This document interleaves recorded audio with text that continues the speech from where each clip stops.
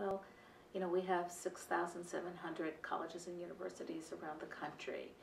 President Obama has taken a long view and produced uh, a report as part of the State of the Union called An America Built to Last.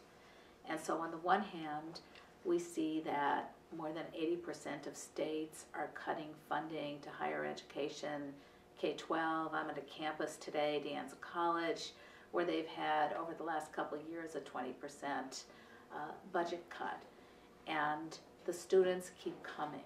They keep coming. And I, uh, I call Pell Grants, uh, you know, a, a, huge success story uh, in the short term in the first two and a half years but when you look at students from the poorest families in the country, and you look at the fact that we've increased uh, college going by having an increase of 50% in college students enrolled in higher education today in just two and a half years, it says that the demand is unstoppable because people realize that education is going to get them a ticket to a better opportunity in the workforce and in society. So it's a paradox, as you said. It's a tremendous paradox. I think schools like this and many institutions across the country are doing everything they can. They're taking students to the extent they can. They're putting them into classes where they would have had maybe a vacancy before. They're full now. They've got long waiting lists. And they've had to, here as an example, you know, they've had to decrease the curriculum uh, by many, many classes just to balance the budget. California alone had an, over a 13% decrease in one year. So these campuses, especially public institutions, can't take it. It's really too hard. What we're doing is we have a huge effort that President Obama has put forward, keeping college affordable. And I can talk about that a little more if you like, but keeping college affordable is a tremendous priority for this country. If we can't keep college opportunity available to everyone who wants an education, our country is going to suffer for decades to come. Well, the first uh, centerpiece of our agenda has been the Pell Grant program. So in the first three years, we've increased the Pell Grant by over $800 to a maximum today of $5,550. And if Congress and the President accepts the President's recommendation to go forward for next fall, students will have, will see a $900 increase over the past few years. So that money is going to students from the lowest income families across the country. It's keeping college affordable for what I call the top 100% of students who want a college education, not just some, not just the elite students who got an education 30, 40, 50 years ago, but for everyone that sees the value. And so in addition to that, the loan program, you know, students are graduating with an average of $25,000 in debt after leaving four years of an undergraduate education, even if it takes them longer.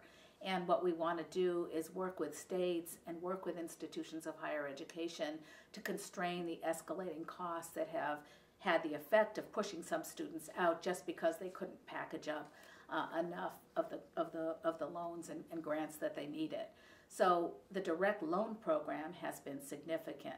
Perkins and Stafford loans available to everyone. We were able to actually, by cutting out the middleman, which are the lenders and the banks, provide a, a $40 billion um, fund for Pell Grants to continue. And even with that, because the demand is so high, in the next couple of years, we're going to have to revisit the funding formula for Pell Grants because we need to keep those grants affordable. We want students to take direct loans.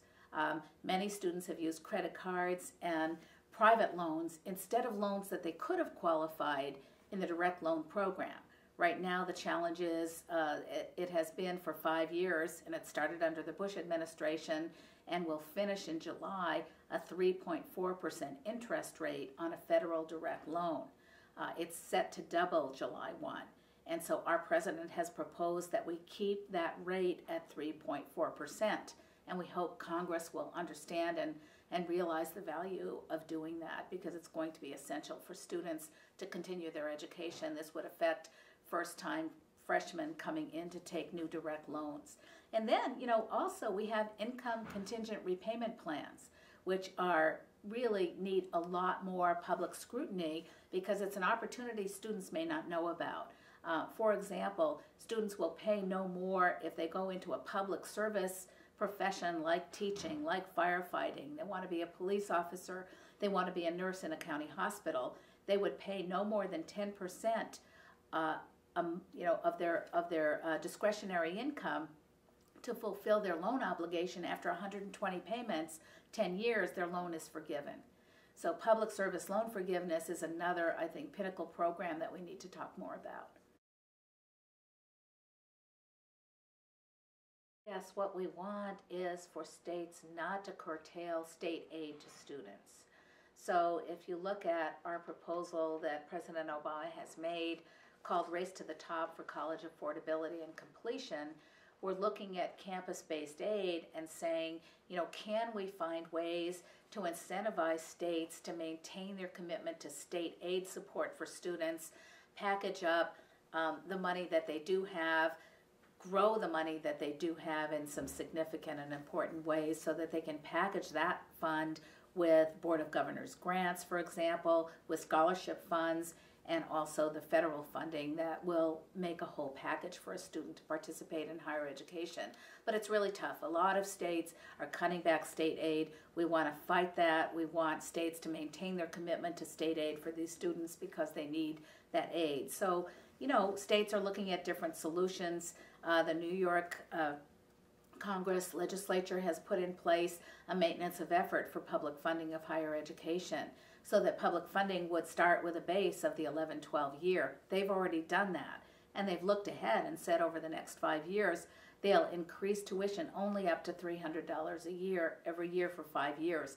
That kind of forward thinking allows families to plan that kind of thinking and Colorado's looking at that, Maryland's looking at that, you know, ways that we as a federal government can find incentives for states to do those kinds of things, make those kinds of good, I would say, predictable, sustainable de decisions for long-term uh, financing of education.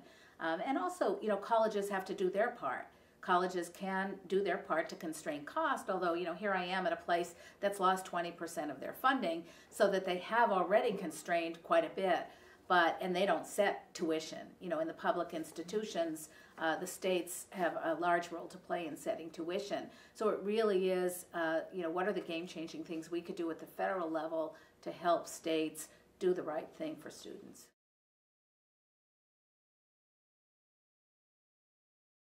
We don't think uh, it's blown out of proportion at all. First of all, we're 16th in the world. We were first in the world in the proportion of college graduates for students 25 to 34 year olds a generation ago. Today, half of the students in American higher education are not finishing in six years. But when you look at the pipeline and you look backwards and you look at the fact that only a third of children are reading at fourth grade level and a third of children uh, only a third of children are prepared for kindergarten, we have a massive pipeline pro problem. So what Arne Duncan, Secretary Duncan has done, and, and with our help uh, and the President's leadership, we're looking at multitasking, early learning, K-12, and higher education to increase the throughput of the pipeline for K-12 to higher education, and also for all of the people who are adult learners that need to change careers or get a first chance because they've raised kids and done other things. College is increasingly unaffordable. That's why we have a college affordability goal. But college completion is a centerpiece to what we want to accomplish. So we're seeing that some states are leading the way in college completion. Uh, if you look at what Indiana has done as an example, they have put in place a set of seven strategies that are remarkable. And we have other states doing those kinds of things fixing the articulation between high school and college. There are two issues that are central to our agenda. Students are taking too long to graduate, so can you really increase quality and increase time to degree, uh, shorten time to degree, and can you, on the other hand, address the lack of preparation of students for college? So if we can cut remediation in half by putting in better curriculum, having better partnerships between high schools and colleges and universities, and on the other hand, shorten time to degree, we will really have tackled this problem and we'll be able to go from 16 back down to where we were a generation ago. It's going to take what President Obama calls shared responsibility.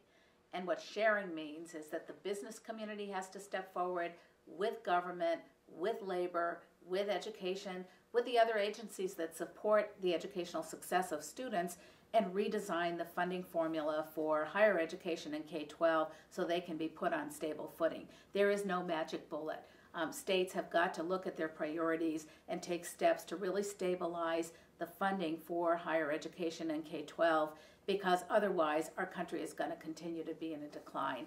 Every student we lose, we lose a high school student every 22 second, seconds. Uh, when you look at college, we're losing 50% of those students. If we can get them graduated, and if we can fix the, the lack of preparation of students, we will have more productivity and we will have more capacity because we're doing things twice.